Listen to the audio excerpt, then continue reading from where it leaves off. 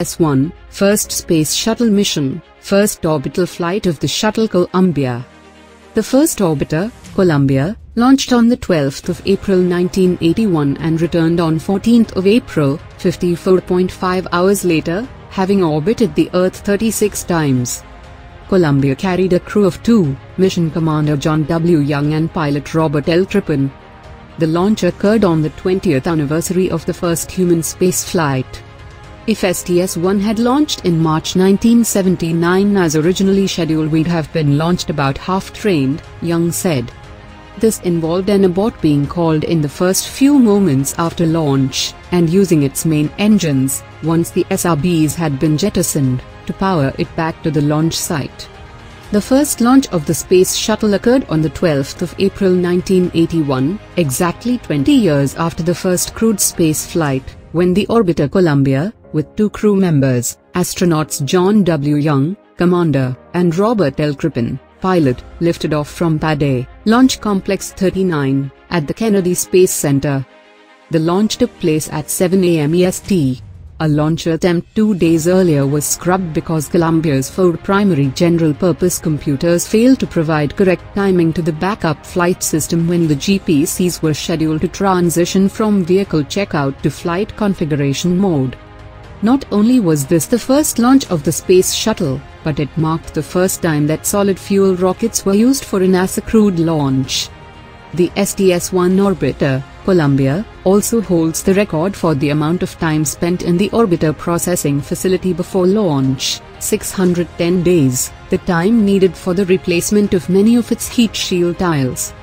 The only payload carried on the mission was a development flight instrumentation package, which contained sensors and measuring devices to record the orbiter's performance and the stresses that occurred during launch, ascent, orbital flight, descent and landing.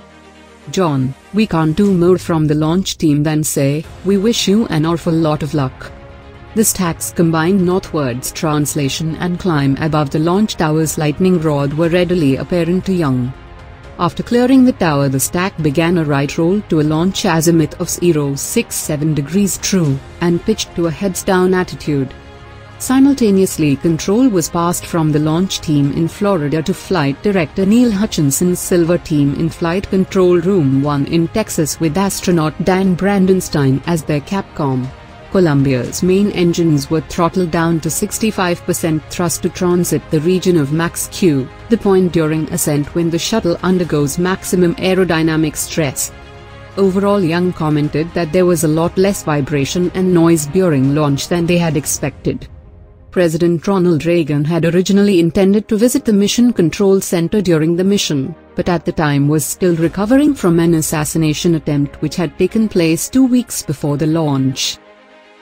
The crew clearly observed the coast of California as Columbia crossed it near Big Sur, at Mach 7 and 1,35,000 feet. Similar to the first Saturn V launch in 1967, engineers underestimated the amount of noise and vibration produced by the shuttle. Pilot Crippen reported that, throughout the first stage of the launch up to SRB separation, he saw white stuff coming off the external tank and splattering the windows, which was probably the white paint covering the ET's thermal foam. Due to the top-secret nature of the satellite, only a small number of NASA personnel were aware of this, and they had arranged for the photography prior to the launch as a precaution to make sure no damage had been done to the thermal tiles on the underside of the orbiter, as there had never been a flight of a crewed spacecraft before where the heat shield was exposed to the vacuum of space for the entire duration of the mission. Aligning the shuttle's low Earth orbit with the KH-11's polar orbit was a somewhat tricky move, and launch on the 12th of April was scheduled for a few minutes after the launch window opened, due to the need to get the KH-11 into correct orientation for imaging the shuttle. Such damage would have made a controlled descent impossible, with John Young later admitting that had the crew known about this, they would have flown the shuttle up to a safe altitude and ejected, causing Columbia to be lost on the first flight. After some modifications to the shuttle and to the launch and re-entry procedures, Columbia flew the next four shuttle missions. The ultimate launch date of STS-1 fell on the 20th anniversary of Yuri Gagarin's Vostok 1, the first spaceflight to carry a human crew. in a tribute to the 25th anniversary of the first flight of Space Shuttle, Firing Room 1 in the Launch Control Center at Kennedy Space Center, which launched STS-1, was renamed the Young Crippen Firing Room. The song Countdown by Rush, from the 1982 album Signals, was written about STS-1 and the inaugural flight of Columbia. The footage of the launch was commonly played on MTV throughout the 1980s and 1990s, and was the first thing shown on the channel, along with footage of Neil Armstrong on the moon and the launch of Apollo 11.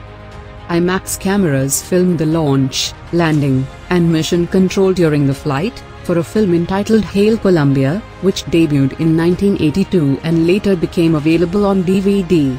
The title of the film comes from the pre-1930s unofficial American national anthem, Hail, Columbia.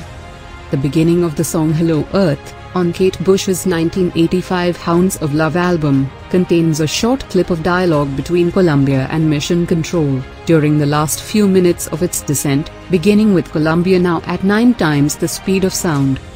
The incident did not delay the launch of STS-1 less than a month later, but pilot Robert Crippen gave an on-orbit tribute to Bjornstad and Cole.